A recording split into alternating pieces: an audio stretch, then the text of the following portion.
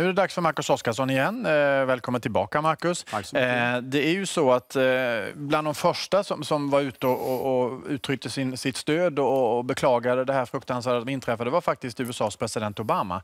Och det är väl ingen tillfällighet egentligen att, att Nej, det var just precis. Obama kanske som var snabbast ute? Exakt, det handlar inte bara om att de har the situation room där de naturligtvis dygnet runt, år ut och år in har järnkoll just på säkerhetsläget i världen i Vita huset. Utan det handlar också, precis som du är inne på, det finns ett speciellt varmt band mellan USA och Frankrike.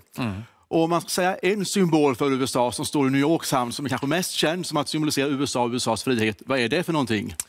Det borde ju vara Frihetsgudinnan. Exakt, Ja, det jag tror jag är har sett originalet i Frankrike, någon, den här lilla modellen som står. Ja. Precis, och gissa Ja. Jesper, vem var det som, vilket land var det som gav Frihetsgudinnan till USA? Ja, nej, men det kan ju bara vara Frankrike då, eller hur? Exakt. Ja.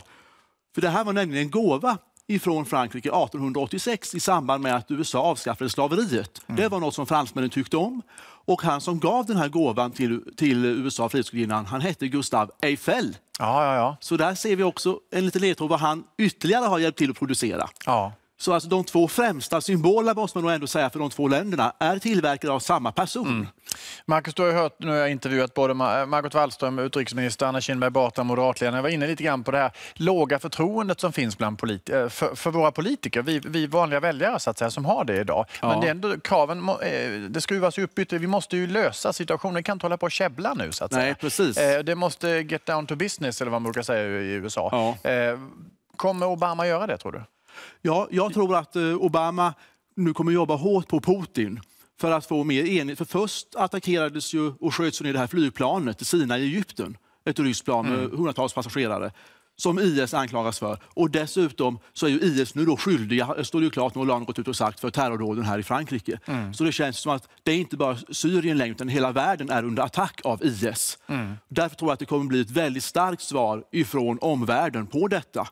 Och eh, ytterligare tecken på just att, eh, men när du är in på förtroendet för svenska politiker är väldigt lågt nu, det har ju också att göra med flyktingkrisen. Ja, men det, det är det ju runt om i Europa också. Ja, Man litar inte på sina politiker, verkar det som. det är en väldigt allvarlig kris, Ja. djup kris som eh, det tufft nu för Europas politiker. Och som du är inne på, det är ju mer käbbel än någonsin i EU. Mm. Stefan Löfven vill väldigt förnuftigt att Europa ska hjälpa till med flyktingar. Sverige kan inte ta hela lasset själva tillsammans med Tyskland.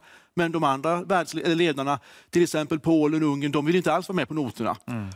Eh, Så där är det en jättetuff uppgift som är- verkar vara helt omöjlig för Löfven. Mm. Och så händer då det här ytterligare. Det är klart att hela Europa är ju skakat. Men då undrar man, de här nyckelländerna som vi då pratar om, eh, USA är ju ett av dem såklart. Eh, Ryssland är ett annat. Ja. Eh, och där har ju relationerna varit nedkylda ganska länge nu och befinner sig typ på fryspunkt skulle jag vilja säga då. Ja. Kan, kan det här tina upp så att säga? Kan det här eh, äckliga händelsen, eller hur du ska uttrycka det, Ja. få saker och ting att bli varmare och tina upp och, så att det verkligen händer saker? Jag tror... Och jag pratar tänk, främst på situationen i Syrien då Ja, precis. För jag säger både ja och nej. Jag tror att, att det, ja, jag tror det kan hända saker i Syrien. Att det blir ytterligare tryck och internationellt ökat samarbete. För de sitter ju ändå, som Margot var inne på förut, både Iran och Saudiarabien, Kina och Ryssland samarbetar på de här fredsförhandlingarna. Att de kanske kan enas. Jag tror att Assad kommer inte vara en del av lösningen. Precis som Margot var inne på, möjligtvis någon kort övergångslösning, men inte den slutliga lösningen, för det kommer aldrig att fungera. Men Däremot så tror jag att, som, att relationen är i frysboxen handlar mycket om Ukraina också. Så, Men sen är det ju också det att eh, president Obama har ju ett knappt år kvar Ja. eh, vid styret. Sen är det en ny president och den valkampanjen har redan börjat. Ja. Eh, och den hörs vi rapportera om varje dag i princip med Donald Trump och Hillary Clinton och hela gänget där. Det handlar lite grann om vad de, eller den som blir då president, vad den har för inställning till allt det här. Ja. Det kommer väl att prägla valrörelsen rätt mycket antar jag. Ja, och där skulle jag säga att Obama är ju mycket mer av en duva än vad Hillary Clinton är. Hillary är tuffare. Hon, Hillary vill gå tuffare fram i Syrien. Det vill inte Obama. Bernie Sanders däremot är ju ännu mer duva. Eh, Men vi ser nu att det här som hänt i Frankrike påverkar redan valkampanjen. Jeb Bush går ut nu och säger att eh, America must stand united together with- France. Och Jeb Bush har ju väldigt högt förtroende när det gäller just säkerhet tack vare storbrorsan George Bush. Ju. Eh, Även Donald Trump har gått ut nu och, säger, och lyft fram den här frågan. Hillary Clinton, alla kandidater på deras Facebook-sidor lyfter nu fram eh, attacker mot Frankrike. Och överhuvudtaget när det gäller USA, titta här får du se Jesper, här har vi eh, World Trade, One World Trade Center-tornet med sin spira nu ifrån New York. New York Times visar den är tänd i franska flaggans färger.